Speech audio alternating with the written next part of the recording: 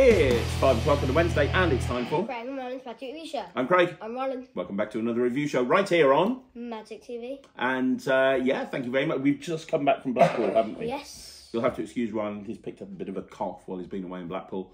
Um, but yeah, we're back with another review show. We're looking at five products this week. And there's some incredible stuff that we're looking at, isn't there? Some really, really, really good tricks on this week's show. So, without further ado, we're going to get straight into it. Yeah, yeah. And we're going to start off With with... Kicker. Are we starting with Kicker? Yeah. Let's start with Kicker. Okay, so first up we have Kicker Changing Deck. It's the Kicker Changing Deck. It's a colour changing deck by Jordan Victoria. And uh, this is described as the back of a signed card changes colour twice and a finale is unexpected. Uh, easy to do, use your favourite deck. Now, uh, I'll leave it up to you to decide whether that's an accurate statement or not. I'm going to start off by performing Kicker so you can see exactly what it looks like, and then we'll talk about what we think. Here we go. Okay, so I've got Ryland behind the camera. He's going to help me with the trick. Is that all right, Ryan? Yep. Good stuff. So I've got a pack of cards, yeah? Yep. 52 cards.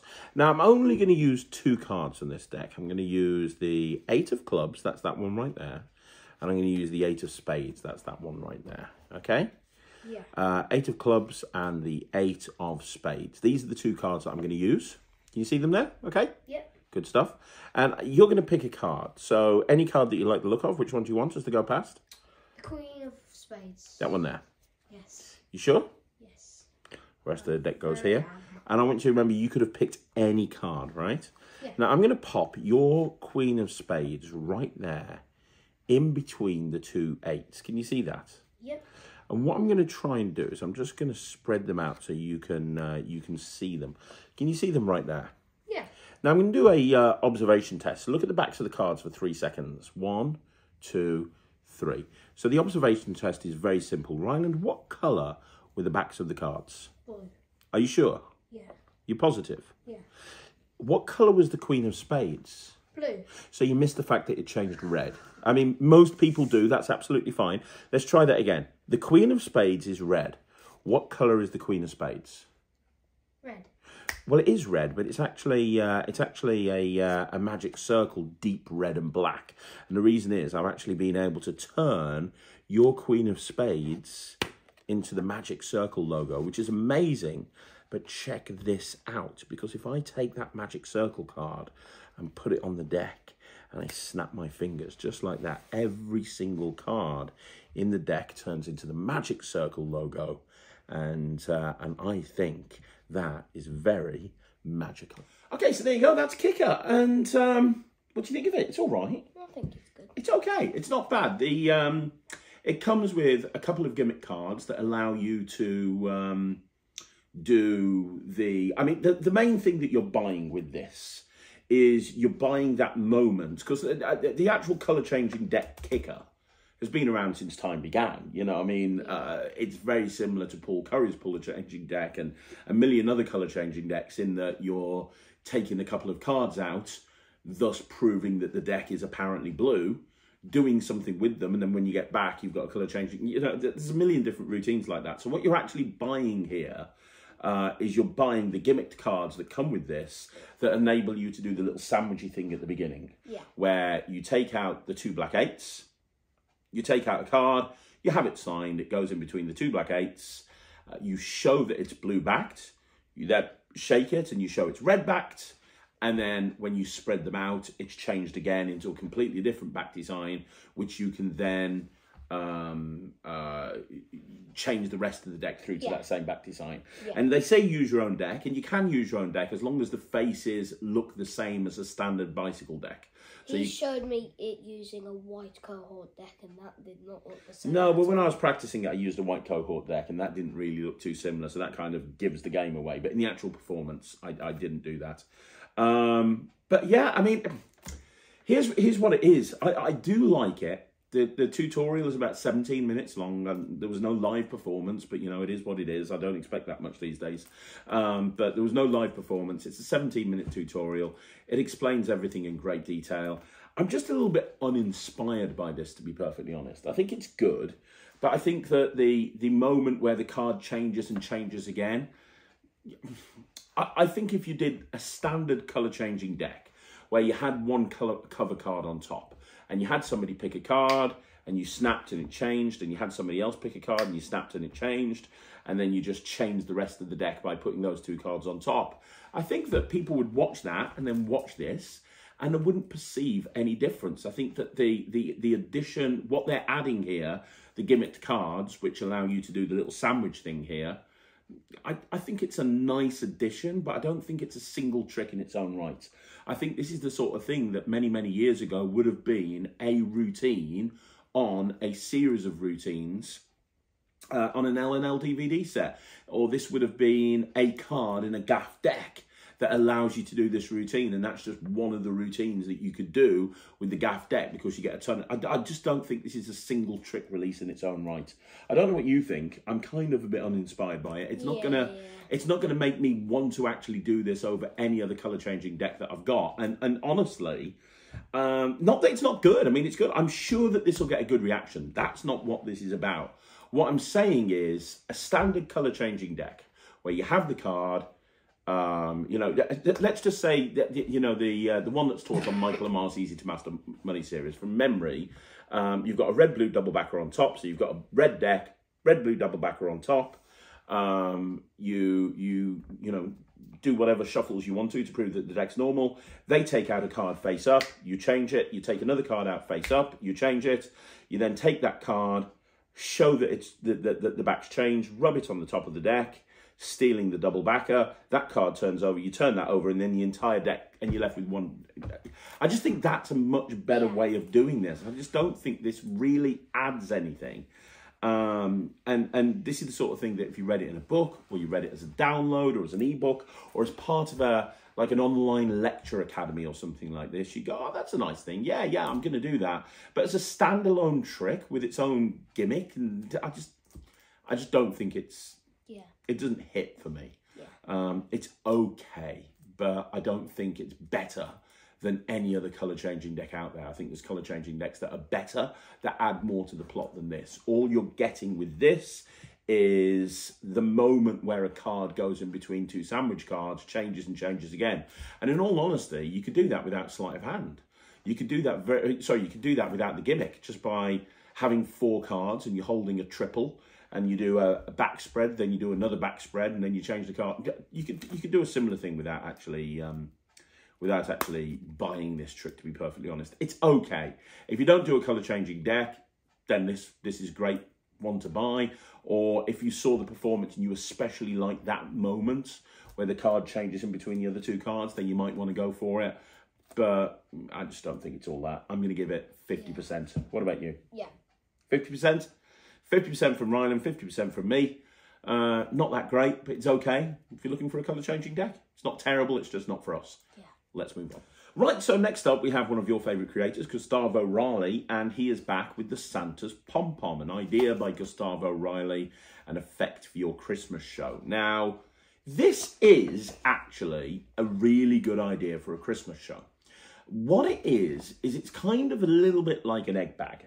Yeah. But it doesn't use the same method as an egg bag. It's not like a Malini style egg bag, but it's a very similar type of effect in that you've got this green bag with like Christmassy decorations on the outside of it. But instead of making an egg appear, you're making a pom pom appear.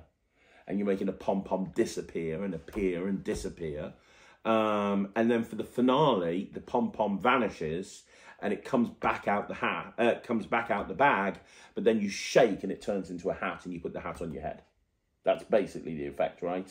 There's some things I like about this. There's some things I don't like about this. And I want your opinion on this because you do the egg bag in your show, like yeah. every show. And and obviously it is every show. It is every show. And obviously people are going to draw comparisons between this and the egg bag. So let's have a look at a performance. This is actually not shot in the studio.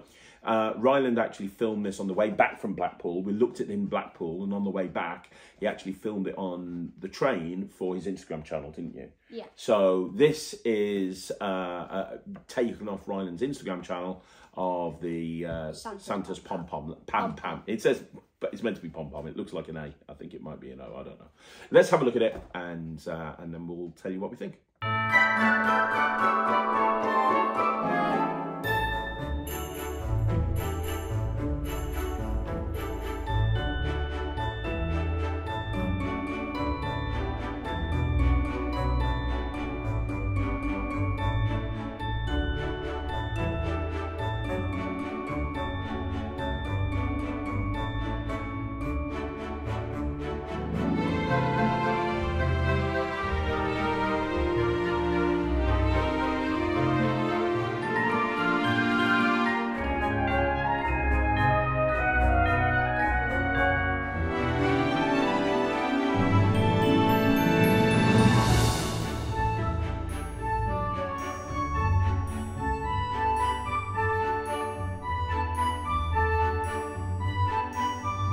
Uh, that went on your Instagram, and people loved it on Instagram. Yeah. You know, they, they really liked it, which uh, which says a lot. Now, what do you think of it? Because there's some things to like about I this. I think it's good, but I don't think I'll do it. Why won't you do well, So first of all, there's going to be people that, are, that do the egg bag. What's the difference method from a method point of view? What's the difference between this and the egg bag? Um, it doesn't have a whole compartment to itself. It's just got like an area like that big, and with like the egg bag, it's the whole size of the bag, isn't it? Yeah, it is. Yeah. Yeah, and um, it wouldn't make sense to squeeze it because it's a little pom pom. That's my main problem with this. I think that one of the things that's so amazing about the egg bag is you're making a real egg appear in the bag. You're making an egg appear, and you've squeezed the bag, you've hit the bag, and you can turn it inside out, and you can get spectator to turn it inside out. But with this, it doesn't make sense to squeeze it. It doesn't make sense to hit it. You can turn it inside out, but how are you going to expect to turn it out? They They're can't gonna- turn it They're inside. gonna they're gonna feel the Santa's pom pom. Yeah, there's no way to hide it. It's not like an egg bag because when you turn it inside out with an egg bag, you're hiding it in your hand as you're holding the rim, aren't you? Yeah. But that won't work with this. So they can't turn it inside out. So, you know, you're looking at this little pom pom, and people might think, well, you can hide it in the hat, which you can very, very easily. Um, and I think that's the major problem with this compared to the egg bag. I think it's more impressive making an egg appear. I watch you do this in your show, and you're smashing it and you're hitting it, and nobody thinks in the audience. Yeah, you're squeezing it. Nobody in the audience thinks there's an egg in there. It's impossible. And all of a sudden, you reach in, and you pull out a real egg. And the moment at the end, which is obviously uh, from Jeff Hobson, where you reach in and you get the spectator to do it themselves, and the spectator That's pulls the egg out. I don't think. That's crazy. And you couldn't do that with this. I don't think you can. So, so the fact that you're using a pom pom. There is a big finish for this though, with the hat, with the hat. which is a nice idea. Yeah. It is it is a good idea when you you shake it and you put it on your head. But put it this way, you've got quite a few shows over Christmas. Yeah. You could very easily take your egg bag out and put this in instead. But you said to me, I don't want to put this in my show. Yeah. Why not? I don't think it's as good as the egg bag, to be honest. You don't think it's as good as the egg bag? No. Okay. I agree with you. I agree with you. I And you think already know the percentage if you if you like it, but you can't do it. You you don't want to do it. Yeah, I, I just think there's going to be people out there. There's going to be some kids entertainers it's, out there. it's, it's a nice idea, but I don't think I'll I'll do it. Yeah, there's going to be some kids entertainers out there that are going to get a mileage out of this. There's no, it's a four minute tutorial. So there's no live performance. There's no presentation to it or anything. I'm guessing you can make a really nice presentation There's, about going um, to the North Pole. He does it to himself. He does it to himself, but he doesn't have a live performance. This is a kid's trick, really. And you'd expect there to be a live performance to kids, and there's not. I think if you if you put some time into it and you thought about a presentation, something like, "Hey, did you hear about the time Santa lost the pom pom off his hat?" No, really, the Grinch stole it. This is the green bag. This is the Grinch's bag.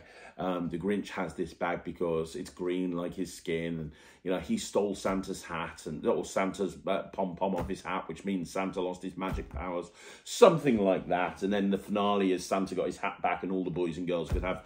That's probably going to work. So for a kids entertainer, it's an easy enough trick. There's nothing difficult about it, is there? Yeah. It's just and so for kids, if you don't do an egg bag, maybe if you've never done an egg bag before, then this is great. But I, this is too similar to the egg bag. You couldn't do both in the same show. And I'd much rather do the egg bag in my show than this, and I'm sure you would as well. Yeah. Yeah, so um, I'm going to give it 79%, which is the highest mark that I can give it Yeah, if I'm not going to do it. So Same. it's good, and I'm sure there's somebody watching this that could take this and really run with it. it's just, I think it's limited compared to the egg bag, and I think you do have to. You're all right, buddy. I think you do have to compare this to the egg bag. So 79% from me, uh, 79% from Ryland. Let's move on with another review. Yeah. Okay, so next up we have Blank Thoughts by Card Shark. And uh, uh, they say on the tutorial, this is a very quick tutorial, they're sitting down by a river or a lake or something like that, and they're teaching you the whole thing by the river, which is totally random. Uh, there's no live performance again, uh, which is unfortunately a worrying trend with a lot of tricks that are coming out now. But um, what we have here is we have uh, uh, a trick where, well, I'm not going to say anything. I'm not going to say anything. I'm going to I'm going to let you see the performance of it first of all, and then we'll talk about what we think. Yeah. Okay, Ryan, I'm going to show you something with a pack of cards. Yeah. Okay. Okay. Now, you see magicians all of the time and they have somebody pick a card and they find that card, right? Yeah. I'm going to go further than that. What I'm going to do in a second is I'm going to have you think of a card and I'm going to make that card disappear from the deck. Would that be Yeah. good? Yeah. Seriously, I'm going to make your card vanish from the deck. Okay. Are you ready? Yeah. So first of all, I'm going to think of a card. Have a look. Just think of one. Yeah. Well, actually, just say stop. Stop. Can you look at that card for me? Yeah. You got it? Yeah. Fantastic. Now, I couldn't possibly know what that card is because you could have said stop any way you wanted to. I mean, they're all different cards. You could have said stop anytime you wanted to. We're going to get back to your card in a minute, but first of all, I'm going to try and make your card and every other card disappear. Are you ready? Yeah. It happens when I snap my fingers and cut the deck. You see, when I cut the deck, what actually happens is every card vanishes from the deck. You see, the top card is now blank on both sides. The second card's now blank on both sides. So is the third, so is the fourth, so is the fifth. In fact, every single card in this deck is now blank. Look at that. Every single card, no fronts, no backs. The entire pack is completely and totally blank. Every single card has disappeared. But here's the thing your card is the only one that didn't disappear. Yours is the only one that vanished. And there's a difference between something disappearing and something vanishing. If something disappears, the ink vanishes, the ink goes away. See, it's not like these cards have gone, they're still there, but they've, they've, they've disappeared. Do you understand what I mean? The ink has disappeared. But your card vanished, it's no longer in the deck. And here's the weird thing one card flew out the deck, it did six somersaults invisibly, and it landed right here inside my pocket. Inside my pocket, I've got one card and one card only. Now, you haven't said your card out loud, you haven't told anybody. No. For the first time, what was the name of your card? The King of Hearts. And I think that's about as close to a miracle as you're going to get. Okay, so that's what it is. In essence, it reminds me a little bit of Imagine by uh, Harry and Peter Nardi. Yeah. Just the whole idea of the, uh, you know, you're showing the cards and uh, uh, you're having them think of one and then the deck returns blank. Very different from a method point of view. They credit Get Sharky, which again is by um, um, uh, Card Shark, but with, uh, you know, blank cards instead. I really like this. In fact, as I said earlier on, we've just come back from the House of Secrets. Yeah. I did this every night in the House of Secrets, didn't I? Uh, Yeah. And not even close up. I did it on stage um, to about 40 or 50 people in the audience, and it was really well received. I thought it was only two nights. No, I did it all three Did you do nights. it on the third night? Yeah, I did it on the third night. Yeah, I did it all three nights. I mean, first night. Yeah, I did it on the first night as well, yeah. Um, and it's really strong. I mean, it- it's very, very easy to do. When you saw me perform it at the table, I just did a cut, but when I was doing it on stage, I did a pass and uh, I made it look like the deck just turned blank right in front of their eyes. It was a really strong moment. You know, you show the cards, they can see that all of the cards are uh, are different. You have them stop at one, they stop at it, they look at it, you don't control it, there's no control. Immediately, you can make all of the cards disappear. You can show each card individually all the way through if you want to. It's not a rough and smooth thing at that point either. When you saw it, you thought it was rough and smooth, Yeah, but it's not rough and smooth. So you can be really free with those cards. There's no um, uh, sort of worrying about them Yeah. separating or anything like that. Yeah. And then immediately, once you've shown all of the cards are blank on both sides, without fishing, without asking them, and they can think of more than one card. You know, it's a very when you riffle through, you saw it. They they see all the cards go past, they stop wherever they want to, without any uh, asking at all. You can pull the card out of your pocket and you can show it. Now, if you want to, you can even tell them what the card is ahead of time as well, because you get all of that information. When they say stop, there's a very clever system that immediately tells you everything that you need to know to do the rest of the trick. So it's one of those routines. I, I the reason I tried this out in my show at uh, well, it was your show, but I was comparing you on. The reason I did this as a compare piece at the House of Secrets is I thought I thought you know what this would be a really nice for a stage routine, and it is. It is really strong, really quick, really visual. It's a great opening piece if you're an MC or a compare. This is a great thing to do What's an MC? uh, master of ceremonies it's somebody who uh, you know like when i was at bradford and you were in the audience and there were lots of different acts on and i was comparing the acts on one at a time and in between comparing them on while they were resetting behind the scenes i was doing uh, like a trick or whatever to yeah that's that's what a compare or an mc does Oh, yeah what i did at that show I thought that was a compare. Yeah, same thing. Compare master of ceremony is kind of the same sort of thing, really. Um, but yeah, I, I, I thought, but also this would work in close up. This would really, really work close Yeah. up. This Yeah, would work. Uh, one pocket, just stick the deck in the pocket and you're good to go. It's an instant reset as well. As you walk away from the table, you just give the deck one cut and you reset, ready to go again. Nice and easy, uh, almost self-working. Yes, you can do a pass if you want to to make the cards uh, blank, but if you don't want to do that pass, like in the performance you saw there, you just wanted to cut the deck, that's also fine. I love this trick. I think this trick is absolutely awesome. I'm going to Yeah. give this 98%. Uh, this is something that I'm, in fact, I'm going to order a second one of these. When I see something that I really like, I, I, I know that I can use this. I do a lot of comparing gigs, as you know. And I know I can use this as a comparing gig. I know I can use this um, in, in a parlor show. I can use this for a small cabaret show. I'm definitely going to use this, and I don't want to be in a situation where I haven't got one.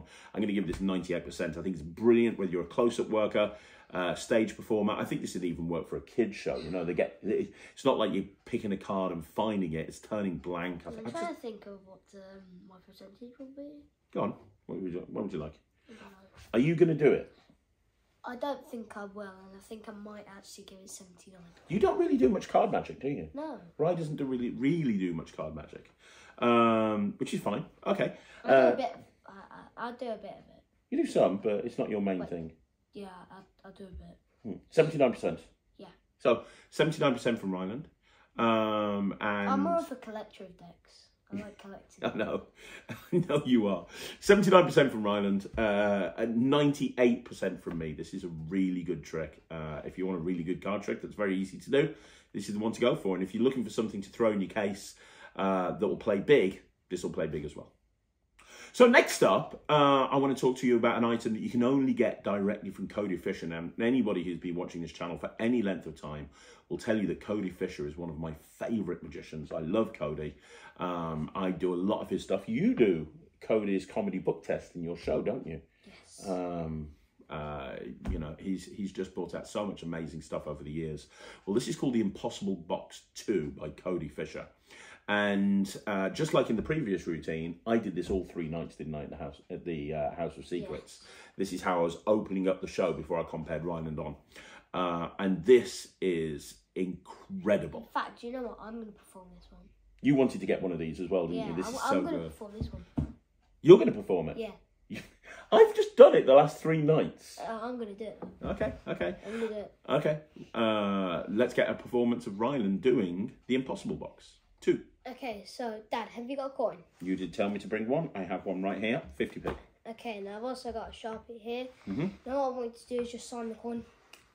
Both sides. Yeah, if you want. Oh, that's the worst signature in the world, but there you go. Uh, yep, dry and. Let me just show them. That's better. There you go. One signed 50 pence piece. Okay, so we've got a sign with bits. Now what I want you to do is I want you to watch this. We've got the coin here. Watch. hmm It's gone. Oh my gosh, where did it go? No, I'll get something impossible. Watch this. Yeah, it's the impossible. Yes. Just moving stuff out the way. We have this. Oh, and I Oh. also need this. What's this? It's uh, well, what's this? Well, it's um ball of wool inside a see-through box with elastic bands around it. Okay. There's a little hole in top in the top of the box, so we can um take the wool out. So what we're gonna do is we're gonna unravel the wool here, okay? So where do, I don't even know how to use this. I'm just gonna have it. It- It's there. It's there. There's a there's a little clip there, Okay. and that's Oh yeah. what clips it in place. There you go. Okay. So I think what you've got to do is you're just gonna roll it around like this. You are unraveling the ball of wool. This is gonna take a while. Well, while you're unraveling the ball of wool, why don't you tell everyone a joke? Um, what did the zero say to the eight? I don't know, Ryan. What did the zero say to the eight? Nice belt. Look, which goalkeeper can jump higher than a crossbar? Which goalkeeper can jump higher than a crossbar? Yeah, I don't know. Which goalkeeper can jump higher than a crossbar? all of them. Even me. What? Crossbar can't jump. Oh my gosh. This is gonna take ages. Have you got another joke? Um, who invented the ark? Who invented the ark? Go on, who invented the ark? I have no idea. Please tell me you've got some better jokes than that. What did the lettuce say to the tomato? I, I don't know. What did the lettuce say to the tomato? Lettuce get some together. Let us get together. Lettuce get together. I think you told that joke wrong. I think it's meant to be what did the bacon say to the tomato? I think that's what it is. So not only are you telling bad jokes, but you're telling bad jokes Wrong. wrong. Okay, fair enough. We're not even halfway there. You're doing well. You're doing well, considering you've never done this before. Can you solve a cube for everyone? I haven't got a cube. There's one there. No, I can't solve a cube. I'm thinking what might happen is we might actually speed this part up because it's taking so long. I'll tell you a joke. What was Piglet doing with his head down the Oh, toilet? everyone knows that one. Looking for poo. It's a classic. It's a great joke. Why does Tigger smell? He plays with poo. I know you. You do as well. That's what you smell, to be honest. Thanks. You're the one that's taking forever unravelling some wool. You're the one that plays with poo.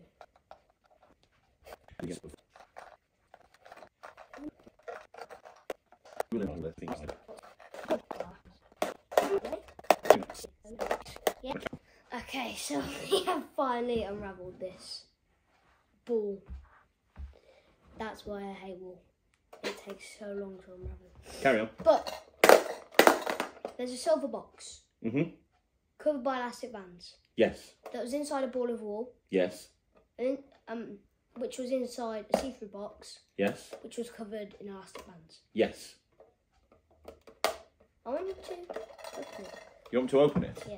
Take the elastic bands off. One elastic band, One elastic band. two elastic bands, three elastic bands, four elastic bands. No, five elastic bands, that is. Six elastic bands. And inside, there's one see through box. Yes. No, not see through. That's see through. This is silver. Yeah. Which is also wrapped up with elastic bands. It's also wrapped up with elastic bands, correct? We do like the pleasure of telling what, everyone what's inside. It can't be. it can't be. There it is, everyone. It's my signed 50p right there inside the metal case. How cool is it? That's amazing. Silver box, inside elastic bands, inside a ball of wool, inside a see-through box, covered by elastic bands, with a coin inside of all of it. Amazing. Okay, good performance, Ryan, especially as you've never done that before and you literally just watched me do it in the House of Secrets. Um, yeah, I mean, that's uh, Impossible Box 2. Um, now, when I was doing it, we, we fast forwarded during the unwinding thing because it took uh, quite a while. However, um, one thing that I want to point out how I was actually doing it, and, and the thing with Cody's uh, instructional tutorials is you see a full live performance of Cody doing this to a real audience, and the tutorial leaves no stone unturned. So you get to see Cody performing it live if you buy it. But from my experience, I've done it three times now on stage the last three nights. Uh, from my experience, um, You know it has a good reaction. what what I did is I now actually let me just backtrack. The difference between this and the second one, the first one, is the original Impossible Box was only designed for a coin, a little bit like what you used. Impossible Box Two is designed for a coin or a borrowed ring. So what I was doing in uh, in the House of Secrets is I was borrowing a ring, Yeah. and I was using the SansMinds Vanishing Ring Box. Now, uh, which is one of my favourite props to use when you're when you're borrowing a ring. If you don't know what it is, you borrow a ring, you put it in the ring box, you close the ring box, and you just put it down and immediately vanishes. So what I was doing in my show is I was borrowing a ring, and there was kids in the audience. I was getting a kid to bring the ring up to me. I was putting it in the ring box, and I was giving the kid the ring box to hold on to. So they the, the ring is there because when Ryland did it, he vanished the coin and then went to get the box. The ring is still there from their point of view. I then go into my case and I get the the impossible box, which is that see-through box that you saw Ryland use a second ago, and I put that on a table next to the little girl. So she's holding the um, she's holding the the ring apparently, and next to her is the impossible box, and she does the vanish herself. Um, and and there's Yeah, this whole vibe to open it. and she opens it and the ring's gone and the look on her face was amazing she was like which which which just plays brilliantly for the whole audience and then I give her the box and with the unwinding thing the only thing I was worried about when I saw Cody do this is is this going to take too long how am I going to cover this and what I love about this is I use the William Tell overture so I was like, can I have some wool unwinding music, please? And as the I, I was unraveling the uh, uh, the um, the ball of wool as the music was playing, and the whole thing was just really built big. And I timed it so that just as I got to the end of the William Tell overture, I'd open, I'd unraveled the wool, I'd unwrap the uh, the, the see-through box, I'd unwrap the, uh, the the metal box, and the little girl was holding the ring in the air as the crescendo of the song came up, and it was just brilliant. It literally tore the house down, didn't it? Yeah, Um, it did. I love this trick. It's it's it's a trick for a stage performer. It's a trick for a cabaret performer. You do more stage shows than close up. Yeah. You said you definitely want to put this in your stage show. Yeah. It's really easy to do. Like you saw with Ryland, he just did a vanish. You can just vanish it and then go and get the box from your cabaret case. Now, if you don't work out of a case, uh, Cody gives you like a gift bag and he gives you a way of doing it so the gift bag's on the table the whole time. So you bring out the gift bag, you put it on the table, you borrow a coin, you're holding the coin here, and uh, and and just in the action of just moving behind the gift bag, you've loaded it into the uh, into the box, which is another nice way of doing it. I do actually prefer the uh, vanishing ring uh, by SansMinds. I think that's the best way to do this, or some method thereof. Maybe a ring vanishing hanky, any ring by Richard Sanders, Lord of the Hanks by Cody Fisher. Anything would like that would work. But I like the idea of them still holding onto that ring while I bring the box into view. It's very, very easy to do. It's not difficult at all. Uh, the tutorial goes through everything with a fine tooth comb, and uh, Cody explains it brilliantly. There's a live performance on the project. Um, if you can do a vanish, you can do the trick. And it's one of those routines that packs small and plays big. Everything packs down into a very small amount. It takes about five minutes to set up because you've got to wrap the box up with the ball. It takes about five minutes to set up, but once you set it up, it's there, and uh, and it's it's an incredible moment. Um, I think this is as strong as Bill in Lemon. Um, I think this is great. Uh, I'm going to give this 100%. I know this is going to stay in my show. I love it. I want to give a big shout out to Cody Fisher. He's one of my favourite magicians, and and this is really good. What are you giving it? Um. Well, considering that I'm gonna do it, I think I'm gonna give it.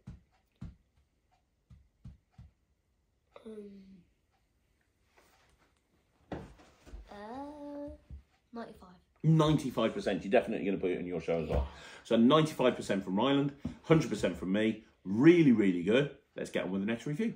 So the final review is, uh, it came out about six months ago, but we want to give a shout out to uh, Lee Alex. Now, I've mentioned this in a 5x5 that I've filmed recently, but I wanted to actually put it on the review show because I want more people to know about this. This is the Devil's Hank 2 by Lee Alex. And we've never really looked at the Devil's Hank by Lee Alex, have we?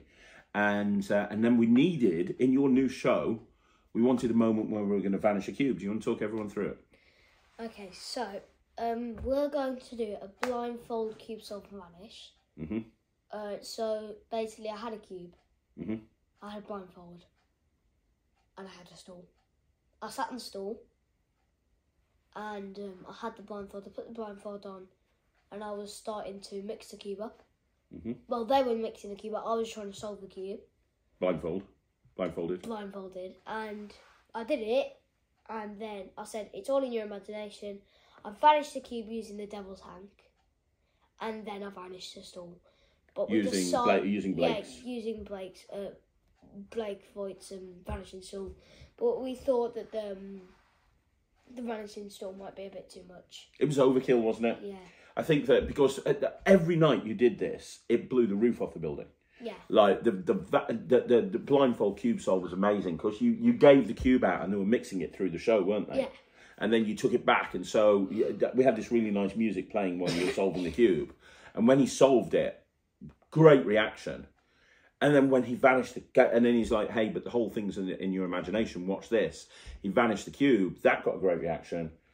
And then the stool got a good reaction as well. But I was like, you know what? After the after the cube's vanished, I think that's all you need. I don't think you need Yeah.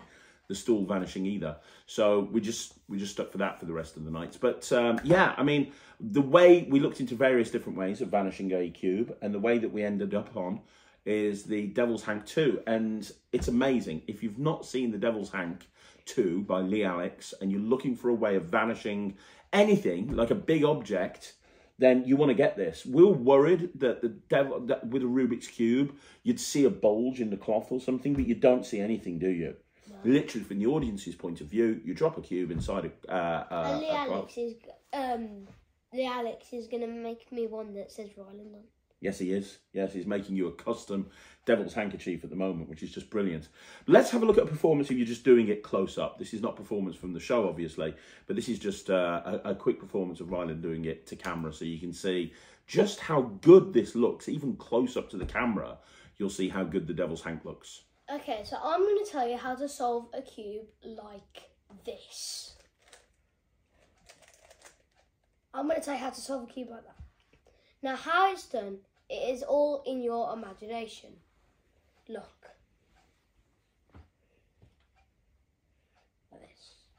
I'll grab all the corners here. As you can see, the cube is going to go into the little bag that I've made. Now, it's all in your imagination. Now, there you go. The Devil's Hank is really a utility device that you can use to do anything. Um, you know, if you've got something in your show that you need to make disappear, use the Devil's Hank.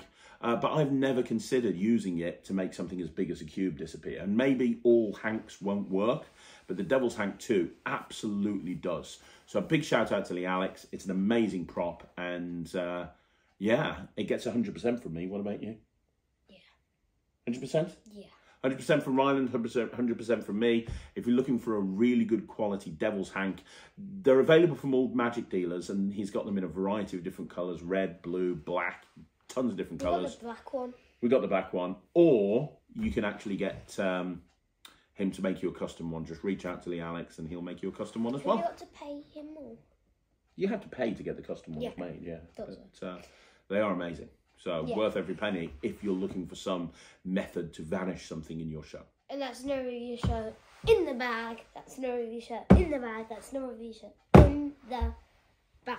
It is another review show in the bag, guys. Thanks once again for joining us right here on Magic TV. Magic TV. We'll be back again next Wednesday with another review show. Uh, don't forget, if you haven't already followed Ryland on Instagram or fa- uh, Facebook, please do so. Uh, he's absolutely smashing it on those platforms as he is on YouTube. And uh, if you want to follow us here on uh, uh, Magic TV, please do that as well. I'm going to be back again tomorrow with a bunch more videos. And if you want to join the Netrix, please go to www.thenetrix.cookies. www.thenetric.cookies. It's actually .com, but whatever. We'll be back again next week. Thank you once again for watching us. Uh, we'll see you again. I'm Craig. I'm Ryland. We'll see you again. Take care. Bye, everyone. Bye bye.